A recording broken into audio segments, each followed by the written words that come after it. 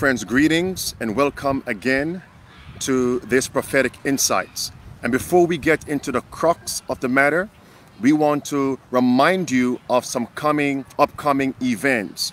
Now, where are we going to be, Hillary, this coming Sabbath, June 1st? We will be in Knoxville, Tennessee. And yes, we are inviting everyone out who is in the vicinity.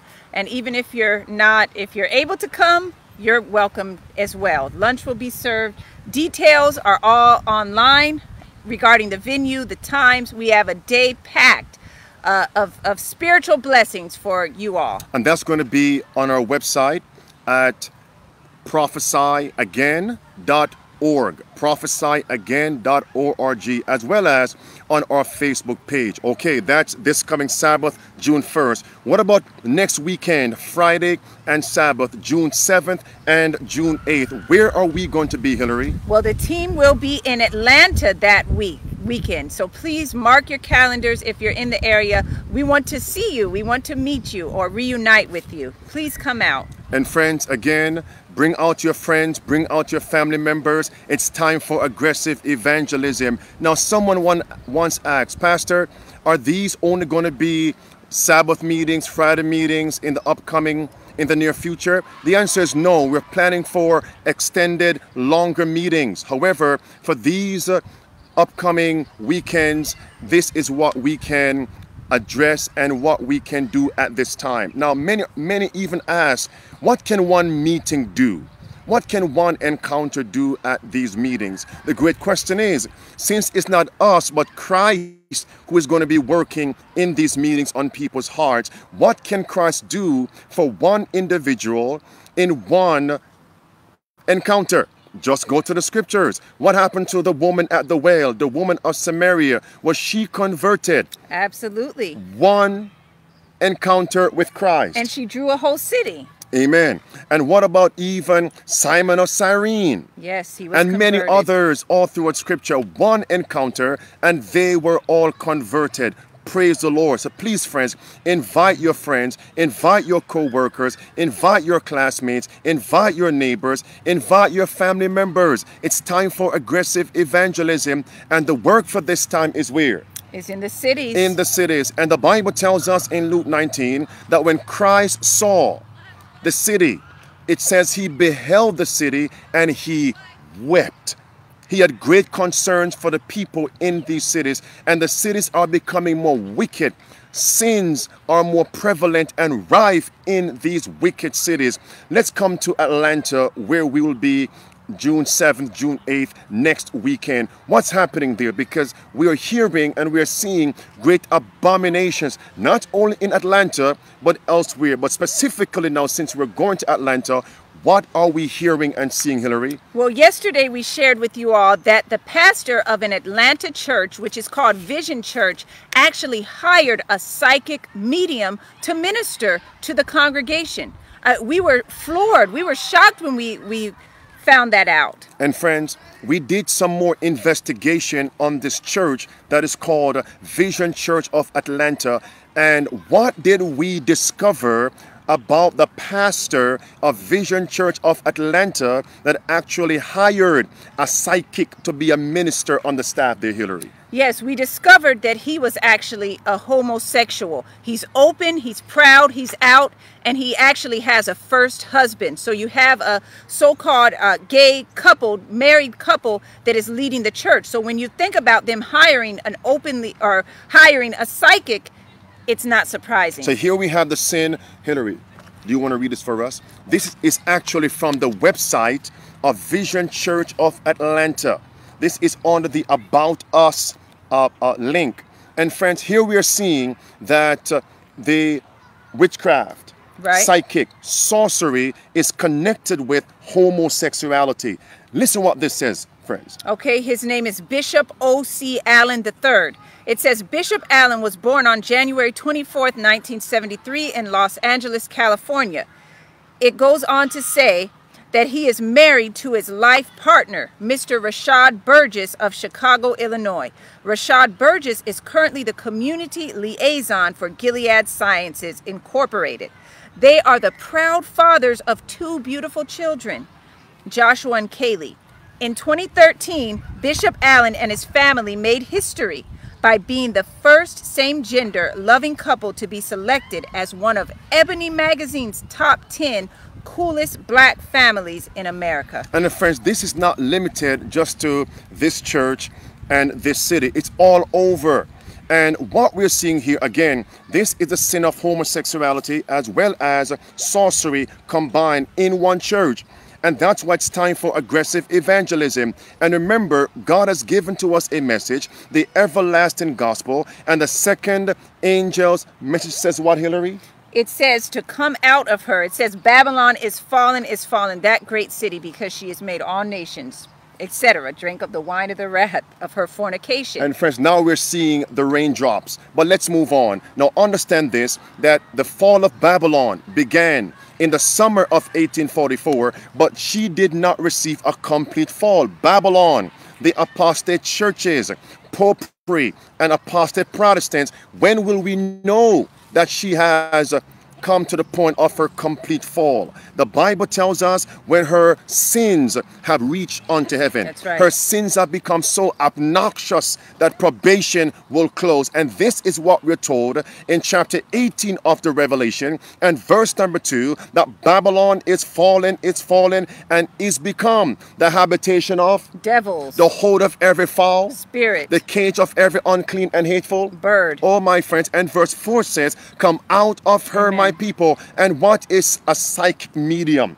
Is that not witchcraft? Is that not wizardry? Yes, it is. is. that not sorcery? Uh, necromancy? Right. Communicating with the dead? spirits, all of the above. And an, an, another interesting uh, discovery that we made, which may not surprise you all. I've seen a couple of comments saying that nothing surprises you anymore. I, I agree with those sentiments. But Atlanta, the metro area of Atlanta, actually has one of the largest Hmm. gay populations in the whole world, not just in the United States, but in the whole world.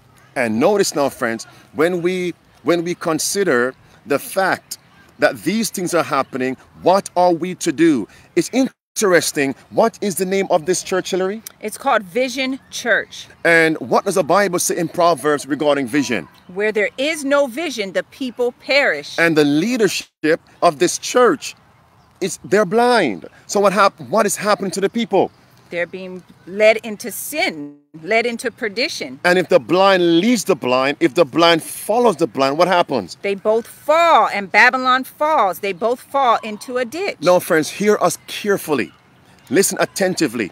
This prophetic insight is not just to show you what's happening, the abominations, but what can we do to rescue some who are sincere? Right. Because I believe it's a possibility that probation has not yet closed on these people individually.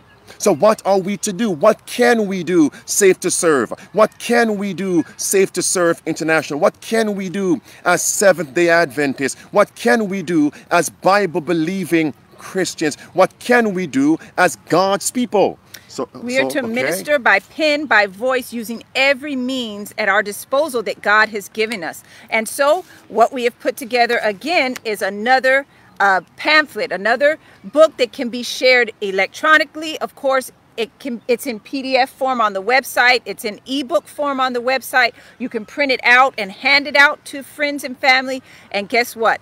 It is a fill in the blank Bible study with all the scriptures uh, pointing out what God has to say about the LGBT, the sin of homosexuality, as well as the sin of witchcraft, which interestingly in scripture, both of these sins, homosexuality and uh, witchcraft and sorcery, they were punishable by death in the Old Testament, friends. So that shows you just how God regards these sins. But He loves the people and He wants to bring them into a relationship with Him so that they can lovingly obey His commandments. So let's take a look of, of what's in this. Again, this is on the website prophesy.again.org, also on our Facebook page. If you notice, you have uh, the current event on the inside page. The pastors, as well as the psychic medium coming in. Below, you have a Bible study on homosexuality. It is very concise, and then there's a reference for them to receive the whole complete Bible study on what the Bible say about homosexuality. As a matter of fact, hold this, Hillary, when you have yours. Do you remember a few days ago we covered Arthur? Remember this one, friends? Love is love, as many say. Arthur character comes out as gay. No, God is love. Rainbow covenant hijacked.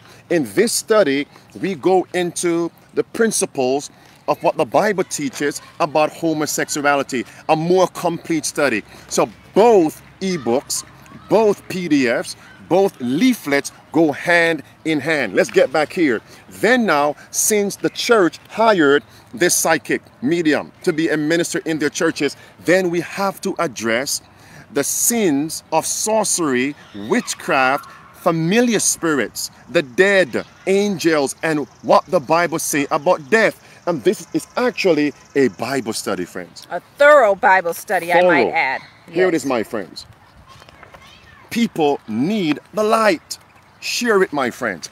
And as you share it, try to establish a contact with whomever you're sharing it to because it's important that you yes we can scatter them like the leaves of autumn but if you if, if you can use this to lead to further bible study all the better and friends let's add this spiritualism communication with the dead sorcery as we saw in this church. And again this is not limited to the church in atlanta. It's our prayer that both pastor and people repent publicly and become converted.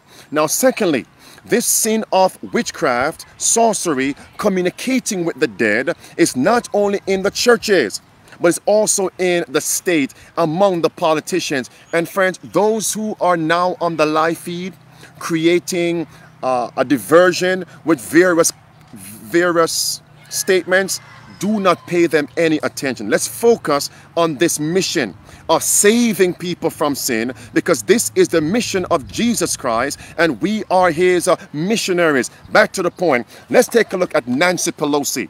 Now, this came out just today. It says, and all these links will be placed below. Headline says, Nancy Pelosi says in San Francisco, San Francisco, yep. that St. Francis song is our anthem. Lord, make me a channel of thy peace. It was the same Nancy Pelosi who made the statement, the same statement a few weeks ago when she said the following.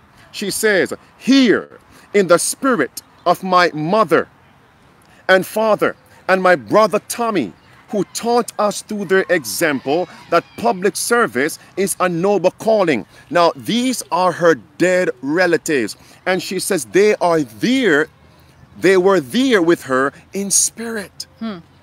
This is communication with the dead. Right. And then she mentions in that spirit, in the spirit of St. Francis, our patron saint, whose song of St. Francis is our anthem, Lord, make me a channel of thy peace. So here is a high official within the U.S. government. She's what now? She is the House Speaker. Speaker the of the House. Speaker. Right, Majority House Speaker. In Congress. And what we see here too, spiritualism. She wants to channel the spirit of Francis of Assisi, and of course, we know what channeling means. That is that is spiritualism. That is witchcraft, friends. And many times we focus, and we should focus on the signs that show a Sunday law is near, which which marks the close of probation individually and then for the world. And we're told in the book Great Controversy, don't you evade, don't you omit, don't you sidestep. You must focus also on the rapid work of spiritualism. Great Controversy, page 588 says, through the two great errors, the immortality of the soul and Sunday sacredness, Satan will bring the world under his deceptions. While the former lays the foundation of spiritualism, the latter create a bond of sympathy with, with Rome. Rome. That's right. And as we began by sharing uh, Revelation 18, dealing with the habitation of demons and the fallen state that this church is in due to spiritualism, of course, we know she makes makes void God's law by exalting a spurious Sabbath. Friends, I'm going to post three paragraphs for you below this. I can't read all of it now, but it's great controversy, page 551. As I read this, again recall what's happening in the churches and what's happening in Congress. It says this the doctrine of man's consciousness in death especially the belief that spirits of the dead return to minister to the living, has prepared the way for modern spiritualism. And then she says, those who believe that the, that the dead are still alive, their soul is floating somewhere, and they, the dead family members can communicate with them, we're told that Satan is going to use and take advantage mm -hmm. of mm-hmm. that false doctrine. Right. And Satan's demons are going to personate the so called dead loved ones and tell the living the Sabbath has been changed to Sunday. Honor Sunday. And, and also to persecute those who preach the everlasting gospel and those who stand for God's Ten Commandments, God's true day of worship. That's right. And the great controversy also speaks combining um, this witchcraft with Sunday again about and the politicians, how that these um, dead, dead so-called individuals will appear to politicians and tell them to keep Sunday, to honor Sunday, and to persecute in essence, the true Sabbath keepers of God. And don't forget this point spiritualism. When Satan's demons personate so called dead loved ones, those dead loved ones who went to the grave in their sins, unrepentant, the devils will tell the living, We are in heaven. We're, we are in heaven. And we're told now the living will begin to believe that there is no difference between truth and righteousness, no difference between truth and error, no difference between living for God and living for self and the devil. This is spiritualism. That's it right. lays the foundation, my friends, to Sunday observance and destruction.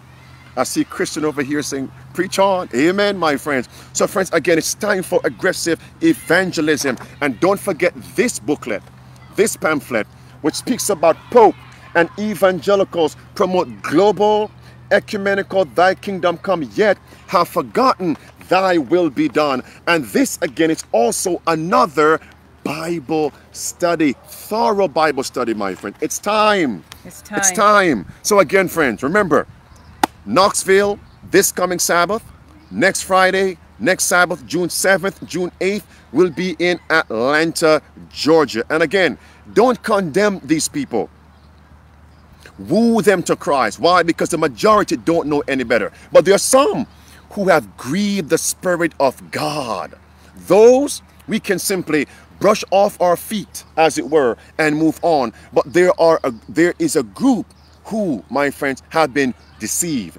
Those are the ones we want to reach because Jesus says, are the sheep I have yes. who are not of this fold, them also I must bring. Right, and they will hear his voice. Oh, how would they hear his voice? Through the promulgation of the everlasting gospel.